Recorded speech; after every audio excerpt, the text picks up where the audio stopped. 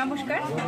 প্রত্যেকবারের মতন আমরা আজকেও কিন্তু চলে এসেছি উত্তরবঙ্গ মেডিকেল কলেজ এবং হসপিটালে। আজকে কিন্তু ফেব্রুয়ারি মাসের এক তারিখ। আপনারা সবাই জানেন যে আমরা প্রত্যেক মাসের এক তারিখে ক্যান্সারে আক্রান্ত রোগীদের হাতে কিছু সুষম খাদ্য তুলে দিই।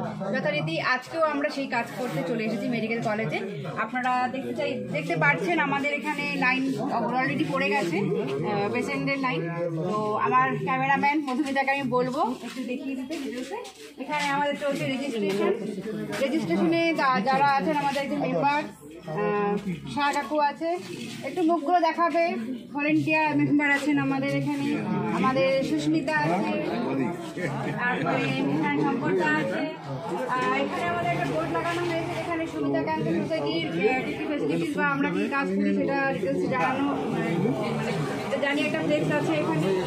আমরা ধীরে ধীরে এগিয়ে যাব সামনের দিকে। দেখতে পাচ্ছি। আমাদের খাদ্য সহায়তা শিবির এখানে রয়েছে, হচ্ছে এখানে আমাদের খাবারগুলো তুলে দেওয়া হয় পেশেন্টদের হাতে বিনামূল্যে।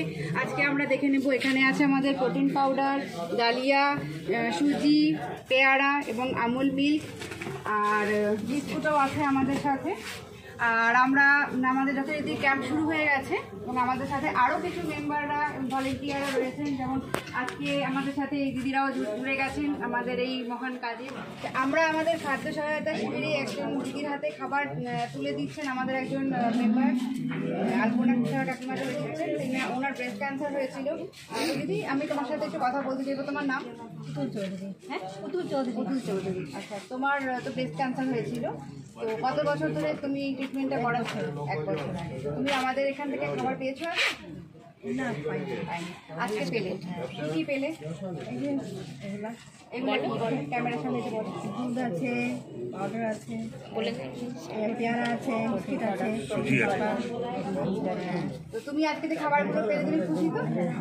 তুমি এনে খাবে দিদি আশা করি তাড়াতাড়ি আরও মানে ভালো হয়ে গেছো আরও তাড়াতাড়ি আরও হয়ে যাবে।